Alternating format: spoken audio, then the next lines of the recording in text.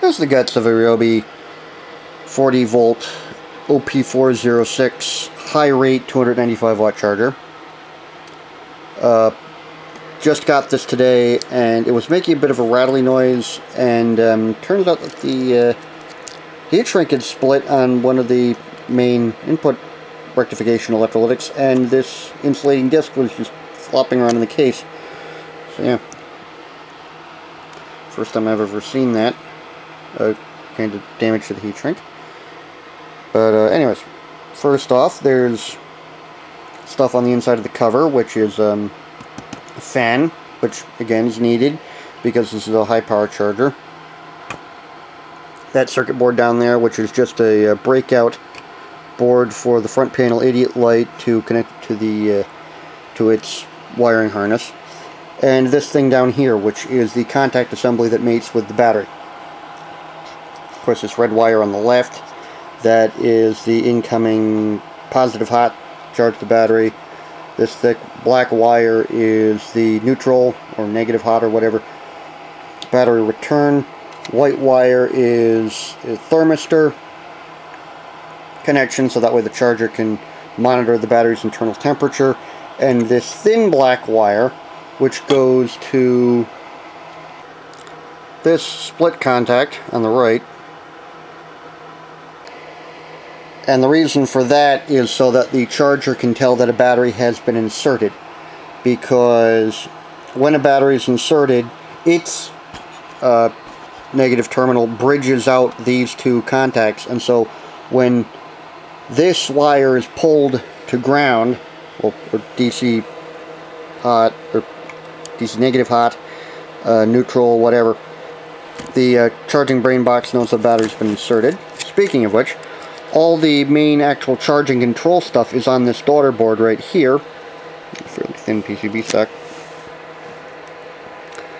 And this is a microcontroller which I can't easily read the part number of. Plus uh, various passives and a couple of operational amplifiers. There's an LM324 there. LM358 there. Actually, I can't remember if the LM358 is an operational amplifier or comparator, but either way. Uh, that's just providing analog um, buffering, what have you, filter, possibly some active filters, judging by all the components there.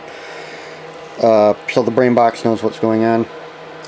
Then over here, this is the AC main input section. Um, of course, a couple components which weren't fitted. Uh, this thing right here isn't electronic. This is just a foam sticky pad to help hold the fan in place. Um, an inductor that would be populated there, technically an input choke, one there, and there'd be a position for a capacitor there, so this would just basically be a big uh, um, LC filter network.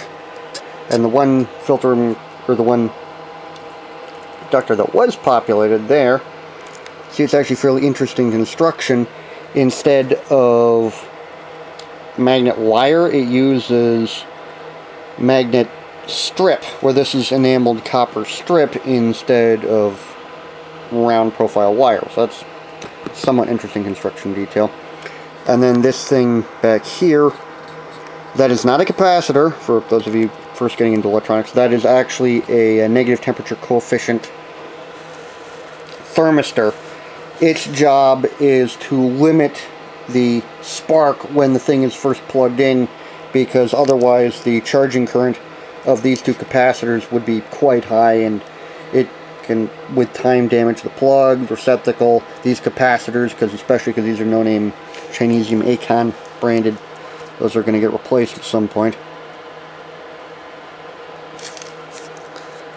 Um, and it also stresses the diodes in this, which is the main input rectifier. Interesting that they used a bridge rectifier, because in this, which is a 120 volt version of this charger, um, buried down under this elastic are a couple of jumper wires which convert this whole this whole rectifier filter section into a potential doubler rectifier. So that means that the actual guts of this thing work on about 300 odd volts DC. And uh, so this might be convertible to 240 volts, uh, but it depends on what the standby supply uh, runs on, which I will get to in a minute. Then down here, this is the standby supply transformer. Also somewhat interesting construction detail. It has a um, insulated secondary in this little plastic stick-out bit of the transformer uh, frame. So that means that the that provides a lot of electrical isolation between the primary and the secondary. So interesting construction detail there. Then over here, this heatsink, which is for the main drive FETs of the main power transformer, the main power transformer, which you can see from all the uh, Litz wire in it. Um, fairly important for something that operates at this frequency in this power range because secondary this thing's going to be handling a good you know 8 odd amperes at uh, full chooch especially into a low battery when its potential is only 30 something volts and then the main output rectification which is on this um, heatsink and as one last note for the top side it's got a, a, thermistor on the main output heatsink, which is good to see. The output capacitors. And despite the similarity to the layout of these, these are just wired in parallel, so those two negatives are bonded together on the bottom side of the PCB, as are the positive connections of the caps. And these blue things is one last, last note. These are Y caps these are used for interference suppression, basically to ground out RF shmoo generated in this part of the switch mode supply to the mains input, which from an RF standpoint is effectively ground. And it's also a very good thing to see how they've uh, doubled up both of them. These are the Y caps for the main power supply. These are the Y caps for the uh, auxiliary power supply. Because what can happen is very rarely these Y caps can fail short. Well, but any capacitor can fail short depending on the design. And should one of those fail short, it'll still, you know, the other capacitor will still provide isolation.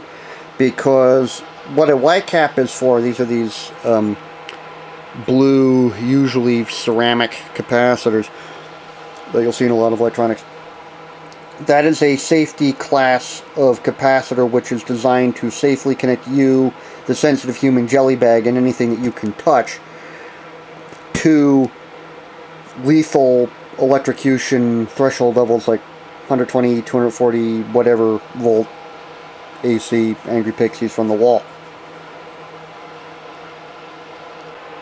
And then on the bottom side of the board, again, pretty much what you'd expect. Uh, this is all the um, noise filtration stuff that I was showing earlier. These two diodes are used as part of the power supply for this auxiliary um, um, brain box power supply basically. That is what keeps the um, main microcontroller and stuff running when there isn't a battery in this. So that way it's not constantly running the um, main switch mode supply over here. Again, those are the two jumpers I was alluding to earlier that connect this uh, trace, which is the midpoint of the uh, pair of capacitors to one of the AC inputs. Then over here, this uh, uh, that chip, which is an MPS 20 either 31 or 81 but that's the main switching control supply chip for the main um, power supply. Then those two pairs of three pins there and there. Those are the two FETs. Um, it is not push-pull. What it is, is there's a connection on the transformer, that one right there, which is, Okay, that's thin. So that's going to be an EM shield. So just uh, basically some copper tape inside the uh, thing just for something to ground out electromagnetic noise. Then that pin right there is connected to the DC ground or DC neutral through this capa uh, film capacitor right across these two pins. That one right there. And then this pin right here is alternately pulled high and uh, up to the you know positive 300 volts or 350 volts, whatever. Technically, been like in the neighborhood of like 320, 330, and to DC ground. And so, at a high enough switching frequency, that capacitor is just going to be repeatedly charged and discharged through the transformer primary and it's a way of getting um,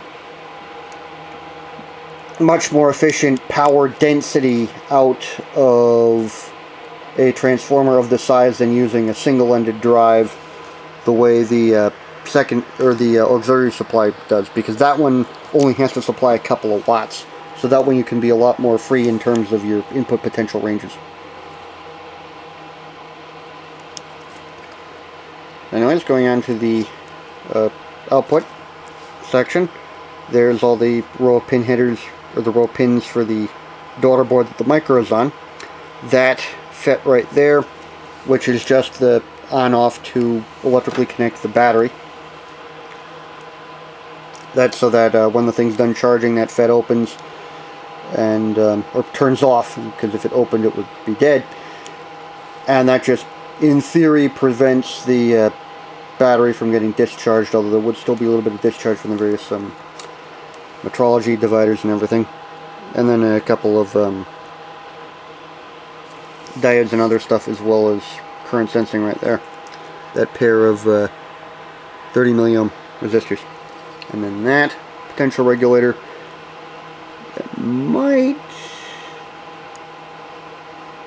you know that that may be an auxiliary supply for the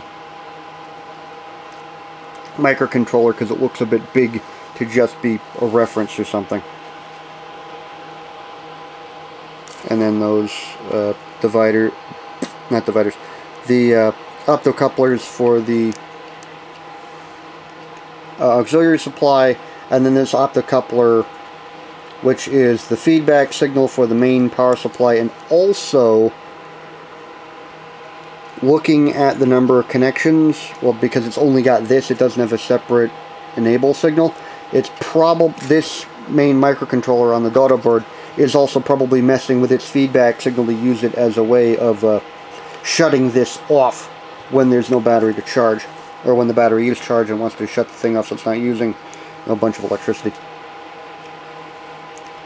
So yeah, overall looks pretty much like what I'd expect, you know, especially for this price point. Also fairly interesting in a production device, they're still on uh, Rev 0.3 on the board.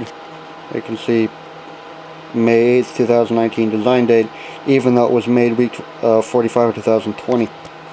That's somewhat interesting, especially from an engineering standpoint.